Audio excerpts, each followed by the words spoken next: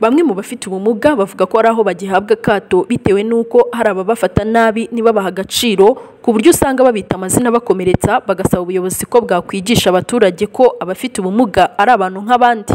Barahari. Ugasanga wenda niba wicaye ahantu akaza wajya kwicara mu mwanya we agahita agunga akajya ahandi cyangwa waba uri hanze abantu bakagushongera bavuga ati ngo nyamweri biki bagutuka nyine?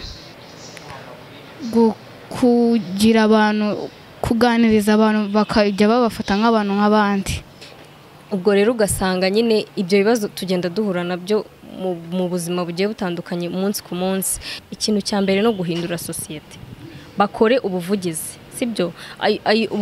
Ubwo izo nama z'ababyeyi zijya ziba imigoroba y'ababyeyi cyangwa se ahantu hose hateranira abantu bagerageze batangemo izo mesaje bimenyekane. Bimenyekane ko umuntu ufite ubumuga ari umuntu nk'undi ikindi ibintu byose bikorerwa umuntu usanzwe cyangwa umuntu udafite ubumuga n'umuntu ufite ubumuga bishoboka perezidante w'inama y'igihugu y'abafite ubumuga mu rwanda mbabazi olivia avuga ko hari aho iki kibazo kikigaragara ariko ko hari icyo leta iri kugikoraho kugira ngo imbogamizi abafite ubumuga bahura na zo zirangire nabo bagire imibereho myiza. Icyo dukora nk'inshingano y'inama y'igihugu y'abantu bafite ubumuga ni ugukora ubuvugizi.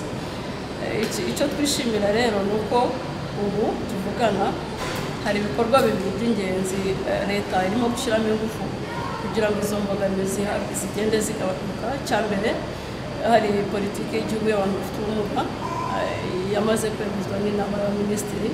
Iyo politiki ikubiyemo ingamba zose na gahunda zose leta ifite mu kugira ngo imibereho myiza y'abantu bafite ubumuga itere imbere izo mbogamizi abafite ubumuga ni icyiciro gikwiye kwitabwaho by'umwihariko kuko bamwe mu bari muri iki cyiciro bavuga ko guhabwa akato bibagiraho ingaruka zitandukanye zirimo gutakaza icyizere cy'ubuzima abandi bakavuga ko bituma bagira ipfunwe ryo kwibona muri bagenzi babo ari naho bahera basaba leta kubafasha guhindura imyumvire y'abaturage bakamenya ko abafite ubumuga ari abantu nk'abandi. Tuyishimire mireye i kigali.